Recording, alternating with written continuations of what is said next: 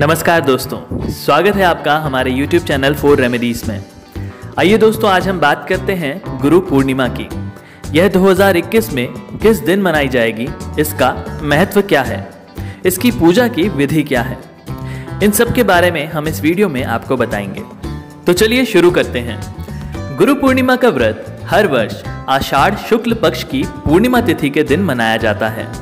भारतीय संस्कृति में गुरुओं को देवताओं के समान पूजनीय माना जाता है। पुराणों में कहा गया है कि गुरु ब्रह्मा के समान है और मनुष्य योनि में किसी एक विशेष व्यक्ति को गुरु बनाना बेहद ज़रूरी है, क्योंकि गुरु अपने शिष्य का सृजन करते हुए उन्हें सही राह दिखाता है। इसीलिए गुरु पूर्णिमा के दिन लोग अपने गुरु के चरण एवं चरण पादुका की पूजा अर्चना करते हैं। गुरु पूर्णिमा के दिन अनेक मठों एवं मंदिरों पर गुरुओं की पूजा अर्चना की जाती है। आइए तो अब जानते हैं कि कब मनाई जाएगी गुरु पूर्णिमा। दोस्तों, गुरु पूर्णिमा की प्रारंभ होने की तिथि है 23 जुलाई 2021 दिन शुक्रवार, और समय है सुबह दस बजकर तिरालीस मिनट से। आषाढ़ पूर्णिमा के समापन की तिथि 24 जुलाई 2021 दिन शनिवार को सुबह आठ बजकर छह मिनट पर है। दोस्तों, इस दिन महाभारत के रचेता वेद व्यास जी का भी जन्म दिवस है।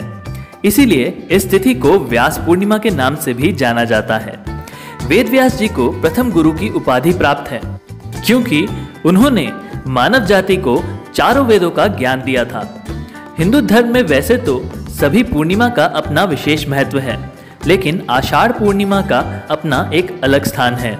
इस दिन पवित्र नदियों में स्नान किया जाता है। और जब तब वह दान के लिए बहुत महत्वपूर्ण तिथि मानी जाती है।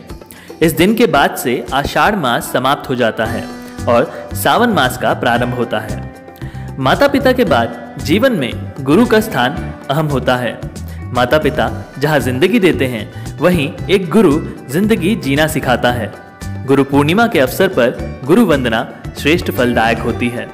गुरु पूर्णिमा के दिन सबसे पहले अपने गुरु को नमन करें।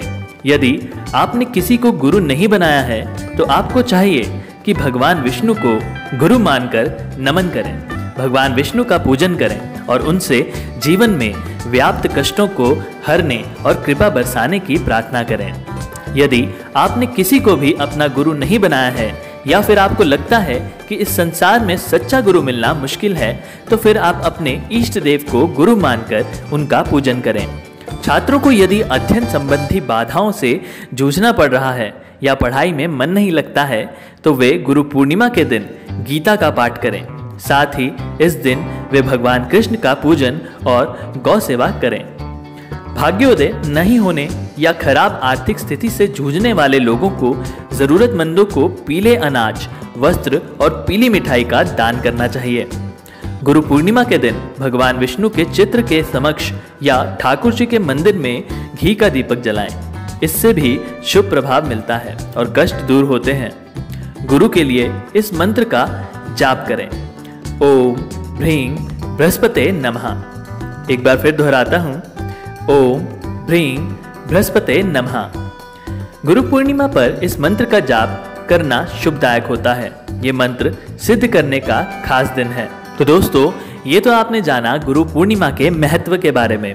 आइए बात कर लेते हैं गुरु पूर्णिमा की पूजा विधि के बारे में। भारतीय संस्कृति में गुरु का स्थान ईश्वर से ऊपर है। गुरु पूर्णिमा के दिन गुरु के चरण स्पर्श करके आशीर्वाद लें और उन्हें फूलों की माला पहनाएँ। इसके पश्चात आप अपने गुरु को मिठाई का भोग लगाएँ। इसके बाद गुरु को श्रद्धा और क्षमता अनुसार गुरु दक्षिणा या उपहार भेंट स्वरूप दें। और गुरु की आरती करके उनका आशीर्वाद प्राप्त करें। गुरु पूर्णिमा के दिन सफ़ेद और पीले वस्त्र पहनकर पुष्प, अक्षत और चंदन से उनकी पूजा करें। इस दिन गुरु का आभार व्यक्त करने के लिए वैसे ही तैयारी करें जैसे भगवान की पूजा के लिए करते हैं। दोस्तों, हम आशा करते हैं कि यह गुरु पूर्णिमा आपके लिए अत्यंत शुभकारी हो। गुरु पूर्णिमा की बहुत बहुत शुभकामनाएँ। दोस्तों, अगर आपको हमारी ये वीडियो पसंद आई तो इसे अपने दोस्तों के साथ ज़्यादा से ज़्यादा शेयर कीजिएगा। अगर अभी तक आपने हमारे चैनल को सब्सक्राइब नहीं किया है तो जल्दी से उसे सब्सक्राइब कर लीजिए। और हाँ बेल आइकन को ज़रूर दबा दीजिए, जिससे कि ऐसे ही ज्ञानवर्धक वीडियोस सबसे पहले आप तक पहुँच पाएँ। आज के लिए इतना ही दोस्तों, मिलते हैं अगली वीडियो में। तब तक के लिए धन्यवाद। अपना ख्याल रखिएगा।